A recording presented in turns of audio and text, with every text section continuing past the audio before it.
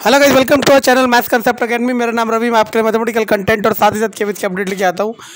तो जैसे कि आप लोगों को पता चल चुका है डीए जो है इंक्रीमेंट हो चुका है चार परसेंट। पहले इकतीस से तीन परसेंट बढ़ा था, चौंतीस percent, thirty four percent.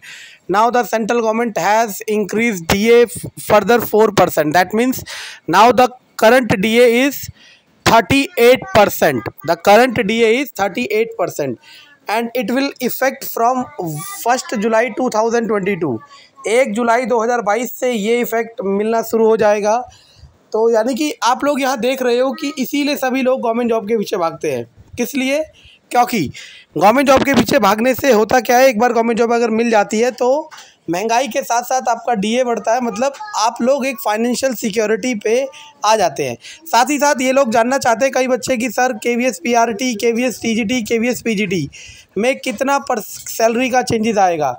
अगर आप पी आर टी में ज्वाइनिंग करते हैं, देखो, अगर आप पी आर टी में ज्वाइनिंग करते हैं तो आपका पैंतीस चार सौ, पैंतीस, चौंतीस पाँच सौ, चौंतीस पाँच सौ आपका बेसिक पे है, चौंतीस पाँच सौ का आप चौंतीस पाँच सौ का आप अड़तीस परसेंट डीए निकाल लो। कितना होता है?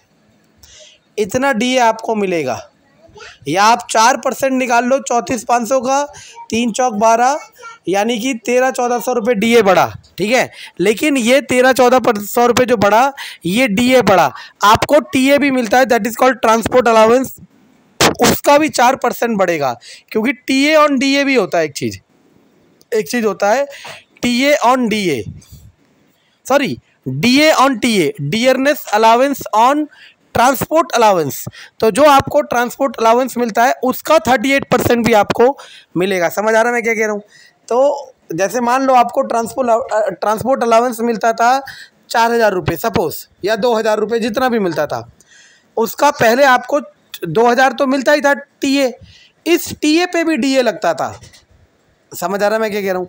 तो अल्टीमेटली अगर आप फ्रेश ज्वाइनिंग हो तो आपको पंद्रह सौ, सोलह सौ रुपये मिलेगा इंक्रीमेंट ये जो हुआ है डीए और अगर आप चार या पाँच साल एज अ पीआरटी जॉब कर रहे चुके हो 2017-18 की भर्ती है तो आपका ये जो चार परसेंट बढ़ेगा, ये 2000 से ढाई हज़ार के बीच का होगा।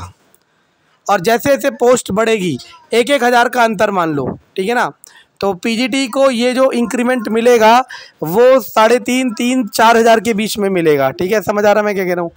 तो ये वेरी करेगा। लेकिन मैं बस ये बता रहा हूँ कि ये जो इंक्रीमेंट है, ये चलते ही रहेंगे। ऐसा नहीं है कि अब अड़तीस है तो अड़तीस ही रहेगा। कुछ सालों बाद फिर बढ़ जाएगा। वो महँगाई के हिसाब से बढ़ाना पड़ेगा, क्योंकि आप सरकार के तमाद और बहू हो। धन्यवाद।